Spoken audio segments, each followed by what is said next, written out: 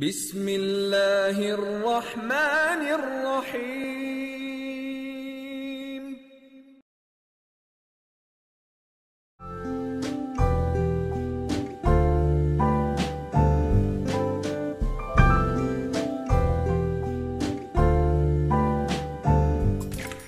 Get tempted by mouth-watering, juicy pineapples.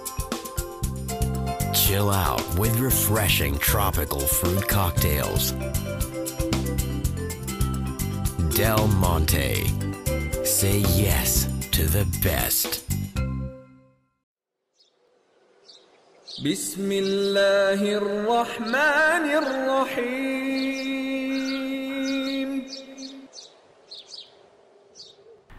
آداب رمضان المبارک کے خصوصی بیٹھکیں ہیں یہ two four seven online dot T V کے اوپر۔ رمضان عبادات رحمتوں کا مہینہ ہے، مغفرت کا مہینہ ہے، اللہ تعالیٰ سے مانگنے کا مہینہ ہے، اللہ تعالیٰ کے آگے گڑ گڑانے کا مہینہ ہے۔ لیکن وقت کے ساتھ ساتھ شاید عبادات کی روح قدر ہمارے مزاج میں سے کم ہو گئی ہے۔ ہم بہت سی عبادات میں ایسی میں پڑ گئے ہیں جن کی شاید شاید شاید روایت میں کوئی جگہ نہ ہو۔ اور بہت بار یہ بھی نہیں سمجھ میں آتا کہ اگر اللہ تعالیٰ سے کچھ مانگنا ہے، توبہ کرنی ہے، مغفرت کرنی ہے، تو اس کے بہترین الفاظ کیا ہیں؟ قرآن میں دعائیں موجود ہیں، قرآن میں روایت میں بہت سے سوالوں کے جواب موجود ہیں۔ تو ان بیٹھکوں کا مسئلہ ان بیٹھکوں کا مقصد یہی ہے کہ وہ روایات، وہ قرآن کی آیات، وہ دعائیں ان پہ بیٹھ کے تبصرہ کیا جائے، بات کی جائے، سمجھا جائے، کلام کیا جائے۔ تاکہ اس رمضان جب عبادت کے لیے ان الفاظ، ان کلمات کا استعمال ہو، تو بہتر دل کی گہرائی سے وہ عبادتیں نکلیں، وہ الفاظ نکلیں۔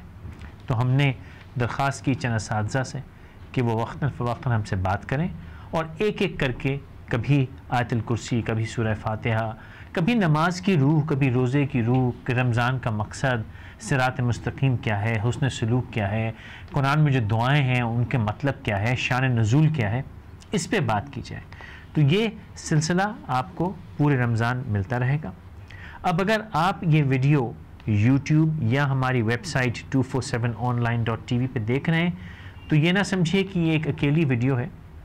یہ ایک کڑی ہے پوری، اور اس میں کئی ویڈیوز موجود ہیں۔ اگر آپ ہماری ویب سائٹ پہ دیکھ رہے ہیں، تو یہاں آپ کو ایک لنک اس پیج پہ کہیں نہ کہیں ضرور ملے گا، جہاں سے کہ آپ جا کے اس پوری لسٹ کو دیکھ سکیں گے رمضان المبارک کے مناسبت سے جو ہم نے شوز کیے۔ اگر آپ یوٹیوب پہ دیکھ رہے ہیں تو یہاں پہ بھی آپ کو یا تو ہمارے آخر میں اس شو کے جو ہے ایک مینیو پہ آپ کو آپشن مل جائے گا۔ ورنہ اگر آپ H T T P colon slash slash two four seven online dot T V یا speak for change dot org پہ جائیں گے تو وہاں پہ نیویگیشن سے آپ دیکھ سکیں گے کہ رمضان کے جو شوز ہیں، ان کا کوئی لنک ہے، وہاں جا کے آپ کو پیج پہ وہ تمام شوز کی لسٹ مل جائے گی، جس سے کہ آپ کو ان شوز کو دیکھنے کا موقع ملے گا۔ آئیے، آج جس موضوع پہ بات ہو رہی ہے، اس کی طرف چلتے ہیں۔ آداب، رمضان کا سلسلہ، زبیر صاحب کا مشرق گزاروں کے وقت نکال رہے ہیں اور میری بڑی پرانی ایک خواہش تھی، بلکہ آپ نے ٹو فور سیون کے ویڈیو سے پہلے ایک وہ اشتہار قسم کی چیز آپ دیکھتے ہوں گے ربنا کا جو آتا ہے، میری بڑی پرانی خواہش ہے کہ یہ جو دعائیں ہیں قرآن کی، وہ ہر کوئی سمجھے اور میں یہ سمجھتا ہوں کہ اس سے بہتر الفاظ نہیں ہو سکتے اللہ تعالیٰ سے مخاطب، اللہ تعالیٰ کو مخاطب کرنے کے لیے، اللہ سے بات کرنے کے لیے، اللہ سے مانگنے کے لیے۔ تو بڑی پرانی میری خواہش تھی کہ ان دعاؤں کو بڑی تفصیل سے اور تشریح کے ساتھ سمجھا جائے کہ ان کا شان نزول کیا ہے اور اس کی تاثیر کیا ہے۔ تو زبیر صاحب کو بہت شکریہ کہ انہوں نے وقت نکالا اور یہ سلسلہ میرے ساتھ کر رہے ہیں۔ زبیر صاحب آیت کریمہ سے شروع کرتے ہیں، کیونکہ میں یہ سمجھتا ہوں کہ آیت کریمہ وہ ان دعاؤں میں سے ہے کہ آئی تو ایک نبی کے لیے، لیکن الفاظ بہت ہی سبمیشن کے ہیں۔ جی بسم اللہ الرحمن الرحیم۔ سورہ انبیاء کی یہ ہے آیت کریمہ سورہ انبیاء آیت نمبر ایٹی سیون۔ اور یہ ہے، لا الہ الا انتا سبحانک، انی کنتو من الظالمین۔ بہت سمپل سی، چھوٹی سی آیت ہے، ایٹی سیون۔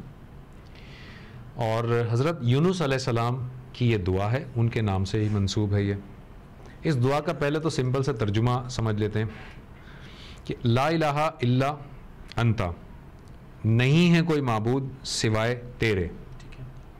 سبحانہ کا تو پاک ہے۔ معذرت سبحان کا تو پاک ہے یا سبحان تیری تعریف؟ سبحان وہ حمد کا اگر ہوگا تو تیری تعریف ہے۔ سبحان کا ہوگا تو تو پاک ہے۔ تو پاک ہے کا مطلب تو ہر عیب سے پاک ہے ہر نقص سے پاک۔ کوئی نقص تیرے اندر نہیں ہے کوئی عیب نہیں ہے۔ تو۔ پاک ہے۔ سبحان کا انی کنت من الظالمین۔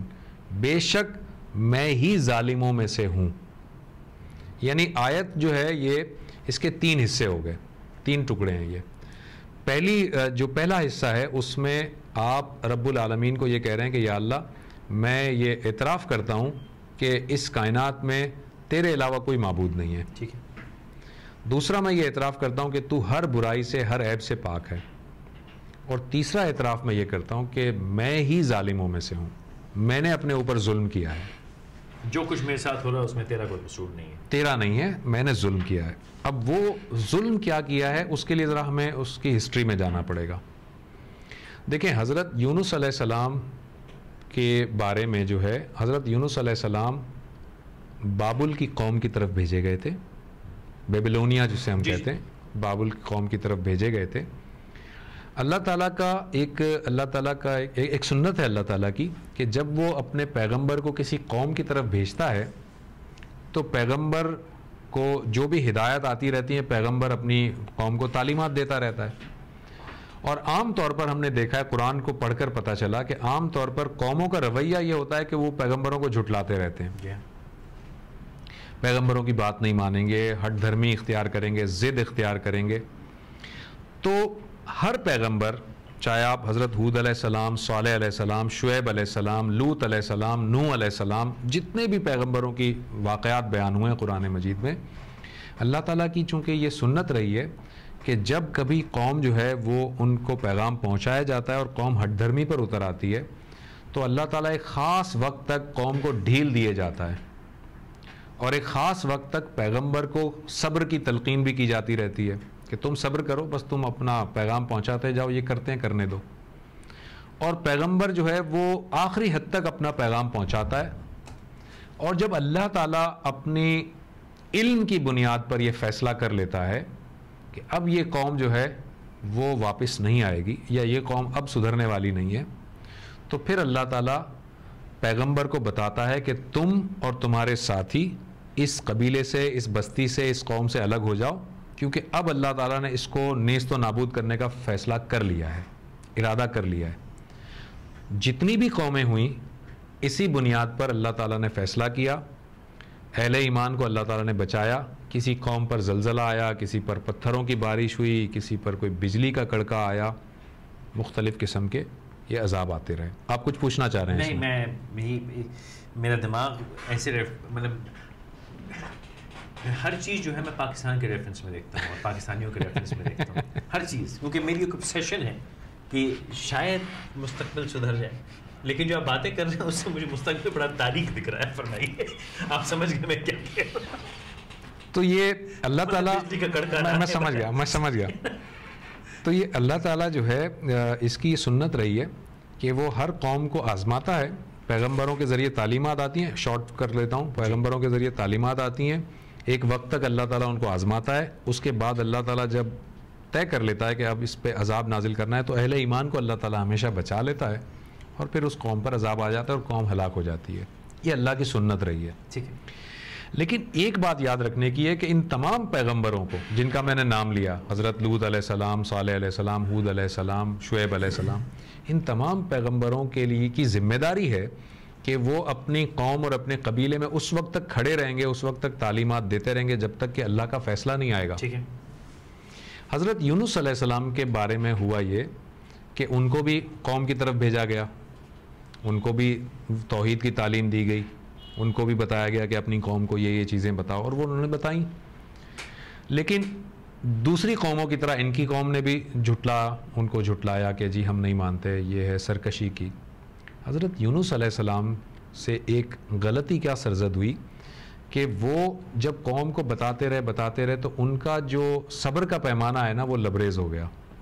اور انہوں نے اپنے طور پر فیصلہ کر لیا کہ یہ قوم اب سدھرنے کی نہیں ہے۔ اللہ تعالیٰ کی وہی کا انتظار نہیں کیا اور انہوں نے چونکہ اپنے طور پر یہ فیصلہ کر لیا تو وہ اپنے ہی طور پر اس قوم سے نکل کر دوسرے علاقے کی طرف چلے گئے۔ اللہ کی وہی کا انتظار نہیں کیا۔ بہت امپورٹنٹ بات ہے۔ اور صرف یہ ان پیغمبروں کا یہ یعنی صرف حضرت یونس علیہ السلام کا یہ ہمیں ذکر ملتا ہے۔ کسی پیغمبر نے کبھی بھی اپنی قوم کو کتنے بھی مشکل حالات ہوں نہیں چھوڑا جب تک کہ اللہ کا فیصلہ نہیں آیا۔ یہ چھوڑ کر چلے گئے۔ اب ہوا یہ کہ یہ جب اپنی قوم کو چھوڑ کر چلے گئے تو دیکھتے ہیں کہ کوئی دریا ہے جہاں پر ایک کشتی موجود ہے اور مسافر بیٹھ رہے ہیں، تو یہ بھی اس کشتی میں سوار ہو گئے۔ یہ سوچ کر کہ میں اب اس قوم سے چلا ہی جاؤں، دور ہی چلا جاؤں۔ یہ سوار ہو گئے۔ وہ کشتی آگے گئی اور بھنور میں پھنس گئی، طوفان میں پھنس گئی۔ اس زمانے کی جو روایات تھیں ہر جگہ کی رسم و رواج ہوتے ہیں۔ تو اس زمانے کے جو رسم و رواج تھے، وہ یہ تھے کہ جب کبھی کشتی پھنس جاتی تھی بھور میں، طوفان میں، تو وہ یہ سمجھتے تھے، ان کا یہ بلیو تھا کہ ہماری کشتی میں کوئی ایسا غلام موجود ہے جو اپنے آقا سے فرار ہو کر آیا ہے۔ اور وہ اس غلام کو پکڑ کر سمندر میں پھینک دیتے تھے اور کشتی بچ جاتی تھی۔ مطلب طوفان سے نکل آتی تھی۔ یہ ان کا ایک ایک ٹریڈیشن تھا۔ تو جب یہ کشتی بھنور میں پھنس گئی تو لوگوں نے کہا کہ بھائی، ہمارے درمیان کوئی ایسا شخص تو نہیں ہے کہ جو اپنے آقا کو چھوڑ کر فرار ہو کر آ گیا ہو؟ تو کسی نے یس میں جواب نہیں دیا۔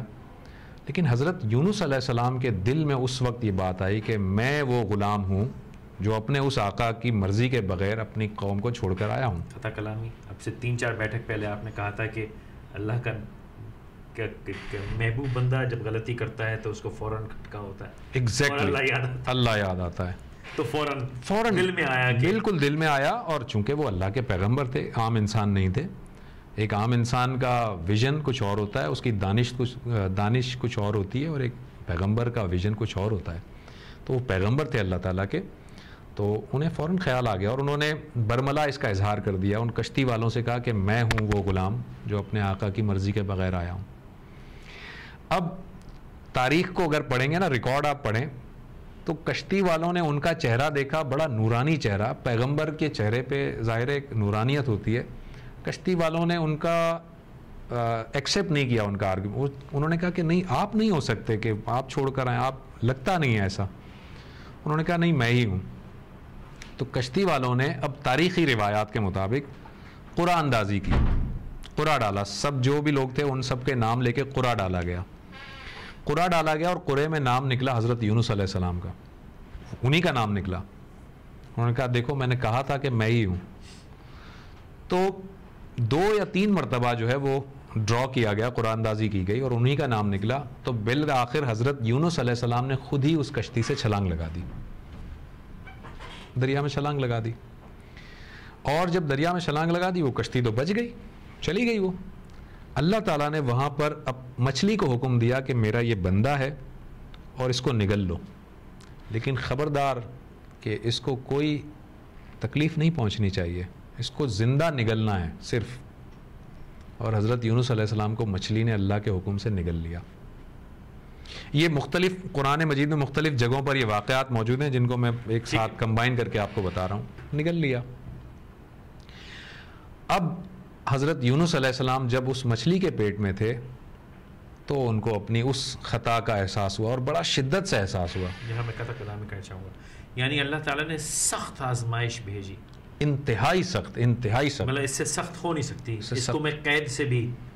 قید کیسی قید؟ آپ دیکھیں کہ وہ ایک شخص ہے جو ایک چھوٹے سے پیٹ میں بند ہے اور زندہ ہے۔ یا تو یا تو کوئی شخص مر جائے ختم ہو جاتی بات زندہ ہے۔ اب زندان میں ہے قید میں ہے سخت آزمائش ہے لیکن اللہ تعالیٰ حکم کر رہا ہے کہ تکلیف نہیں پہنچانی ہے۔ اس کو صرف ڈرانا ہے تکلیف نہیں پہنچ ہاں تکلیف نہیں پہنچانے کا مطلب کہ اس کے جسم کو کھانا نہیں ہے۔ ہاں۔ تکلیف سے مطلب ہاں۔ جسمی جسمانی تکلیف کوئی نہیں پہنچے گی اس کو۔ اس نہیں کو نہیں نہیں نہیں نہیں نہیں نہیں میں میں اسی کی وضاحت کر دوں تاکہ یہ بات کہیں کنفیوز نہ ہو جائے۔ یعنی مچھلی کو حکم دیا کہ میرے اس بندے کو تمہیں کھانا نہیں ہے نگل لینا ہے ہاں۔ لیکن جب مچھلی انہیں نگل لے گی تو اس مچھلی کے پیٹ کی گرمی کی وجہ سے ان کی باڈی کو تو تکلیف پہنچے گی۔ ٹھیک ہے۔ وہ تکلیف نہیں وہ تو پہنچے گی۔ کوئی نہیں ہے۔ ڈیمیج نہیں ہے۔ ڈیمیج کوئی نہیں۔ ہاں۔ ڈیمیج پہنچے کرنا کیونکہ جب واپس آنا ہے تو صحیح حال میں پہنچنا ہے۔ ایگزیکٹلی ڈیمیج کوئی نہیں ہو رہا۔ ڈیمیج نہیں ہو رہا۔ لیکن۔ انتہائی کڑی آزمائش انتہائی کڑی آزمائش۔ اور یہ اگر ہم میں اس, اس میں یوں اس پہ اٹکا ہوں کہ بہت سے لوگ تکالیف میں آتے ہیں آزمائش میں آتے ہیں۔ اور وہ اگر اس مثال کو اور فوراً کیا ہوتا ہے؟ آیت کریمہ کا بھائی وہ ختم کر لو سوا لاکھ پڑھ لو دو لاکھ پڑھ لو۔ اور یہ بڑی مجھے کرب ہے اس کا کہ لوگ کہتے ہیں یہ بڑی گرم ہے اور وہ اس کے وہ ختم ہو رہے ہوتے ہیں اور خواتین گھر کی بیٹھ جاتی ہیں اور سوا لاکھ دو لاکھ۔ اور میں اکثر سے پوچھتا ہوں کہ آپ کو پتہ ہے آپ کیا پڑھ رہے ہیں؟ وہ نہیں پتا کسی کو۔ نہیں پتا ہوتا کیا پڑھ رہے ہیں۔ تو یہ جو آپ نے بات کہی نا کہ اس کو کوئی ڈیمیج نہیں کرنا ہے۔ لیکن تپا دینا ہے کہ سدھر جاؤ اور سمجھ لو اپنی غلطی کو دیکھ لو اور اگر سمجھ گئے؟ یہ یہی تو یہی تو آزمائش اللہ تعالیٰ اپنے بندوں اچھا میں ایک اور بات بتاؤں۔ جس کیلیبر کا جو بندہ ہوتا ہے نا اس کی آزمائش بھی اسی لیول کی ہوتی ہے۔ یہ۔ بات یہ یاد رکھیے گا۔ نبی کے کیلیبر کی آزمائش عام۔ جیسا میرا جیسا کوئی مطلب چھوٹا موٹا آدمی جو ہے نا وہ اس آزمائش کے لیے نہیں ہوتا۔ اور نبی کی آزمائش نبی کی آزمائش۔ یہ یہ حضرت ابراہیم علیہ السلام ہی ہو سکتے ہیں جن سے کہا جائے کہ اپنے بیٹے کو ذبح کر دو۔ یہ کوئی۔ مطلب عام۔ وہ زبیر احمد نہیں ہو سکتا۔ آزمائش ہو ہی نہیں سکتا سوال ہی نہیں پیدا ہوتا۔ تو اللہ تعالیٰ ہر ایک کا کیلیبر ہر ایک کی رسپانسبلٹی دیکھ کر اسے آزماتا ہے اور بڑی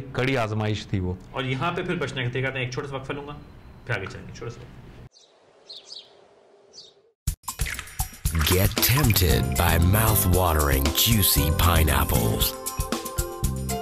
Chill out with refreshing tropical fruit cocktails. Del Monte. Say yes to the best.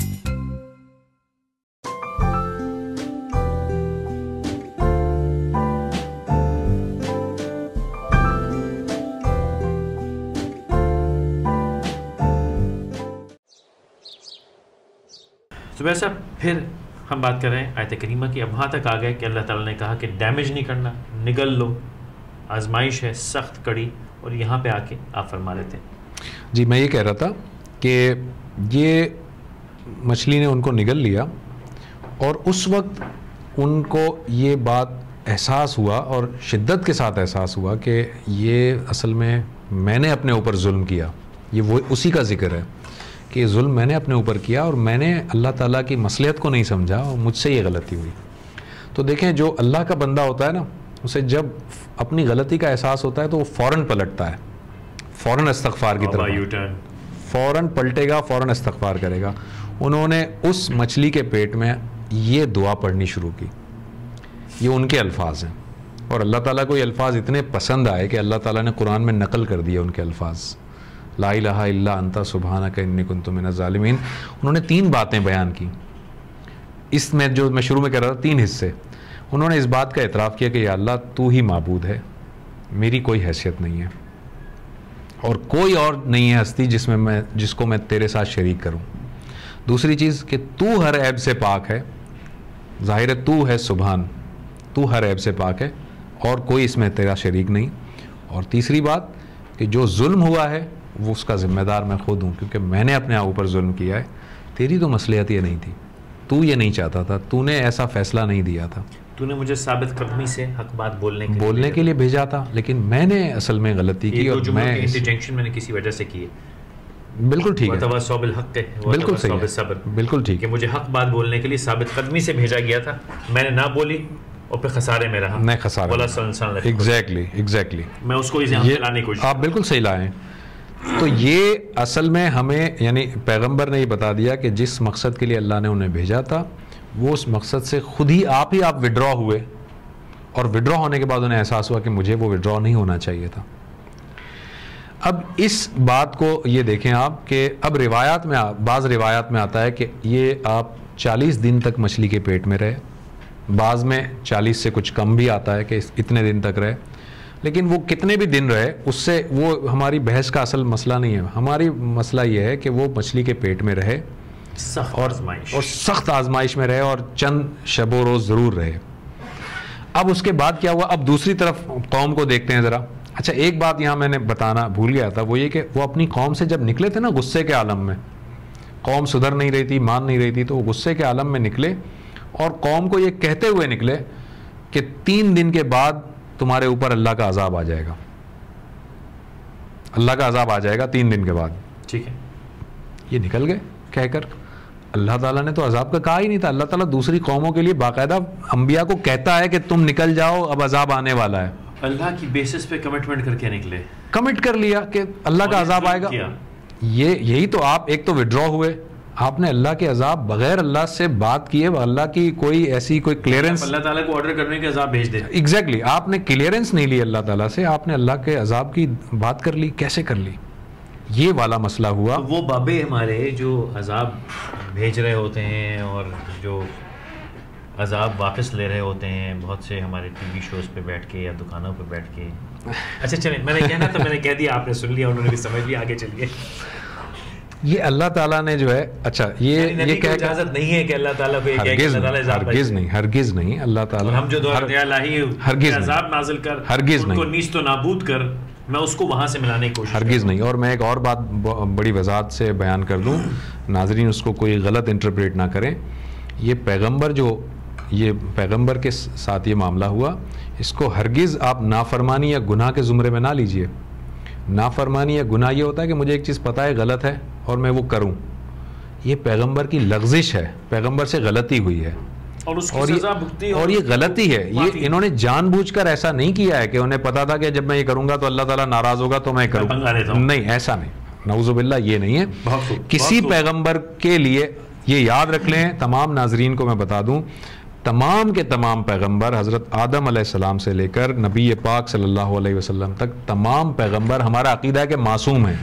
اچھا اس میں میں تھوڑی سی وضاحت کروں۔ میں میں ایڈ کر دوں جی۔ کہ میں نہیں سمجھتا کہ کوئی عام آدمی بھی غلطی یہ کرتا ہے یہ سمجھ کے کہ اللہ تعالیٰ کا عذاب نازل ہوگا میں دیکھ لوں گا۔ ہم شاید یہ بھول گئے ہیں کہ یہ جو ہم حرکتیں کرتے ہیں اس کی سزا کیا ہے۔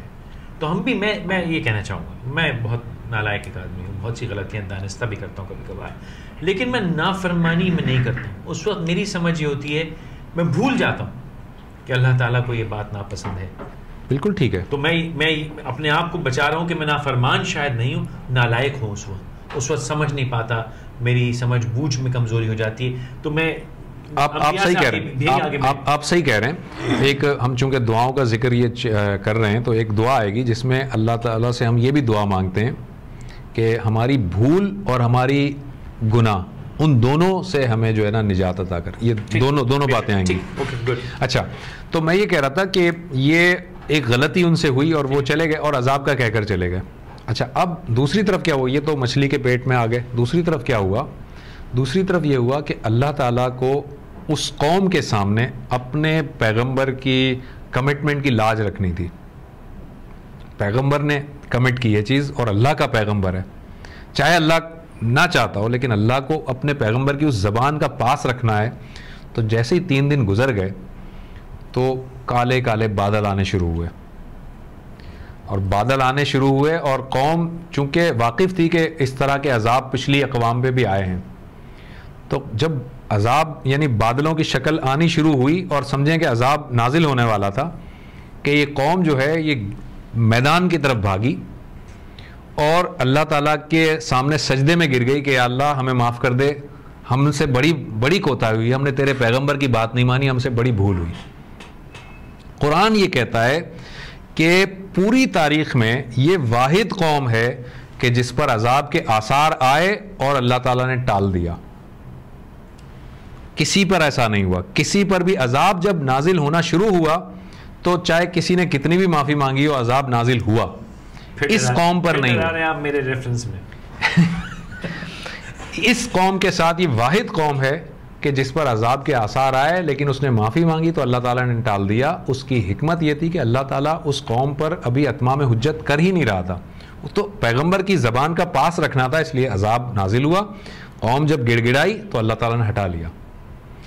اب کیا ہوا؟ یہ قوم جب گڑ گڑائی اور اللہ تعالیٰ نے عذاب کے بادل چلے گئے تو یہ قوم کھڑی ہوئی۔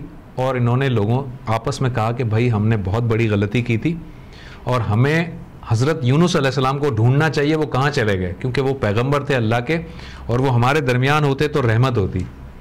تو قوم کے چند افراد نکلے حضرت یونس علیہ السلام کو تلاش کرنے کے لیے۔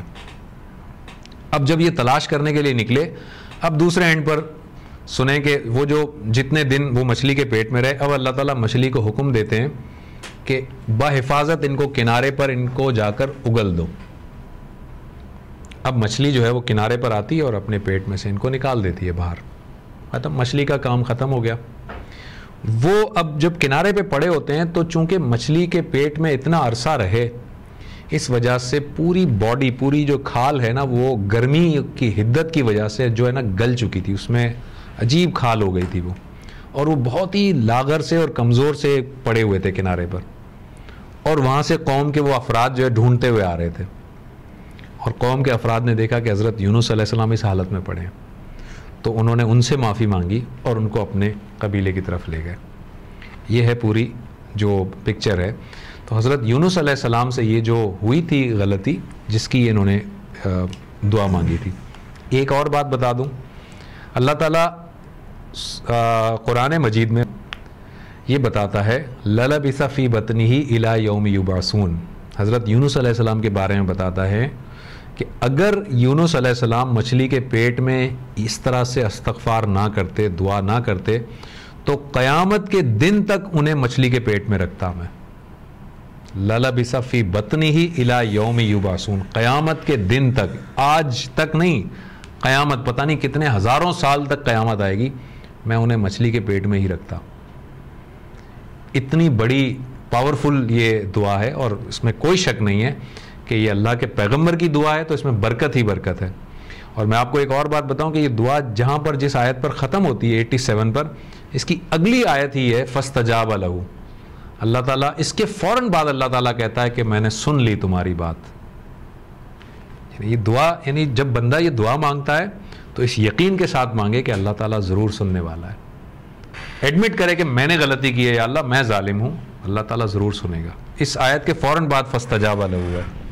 بہت شکریہ، اس کے لیے میں نے اس آیت کریمہ کا مطلب بہت سے لوگوں کو بہت بار سمجھایا ہے اور شاید مجھے بھی اتنی انڈرسٹینڈنگ نہیں تھی جتنا ایکسپینڈ کیا تو بہت شکریہ۔ اس کے لیے اگلی دعا کی طرف چلیں گے، لیکن آج کے لیے اتنا ہی۔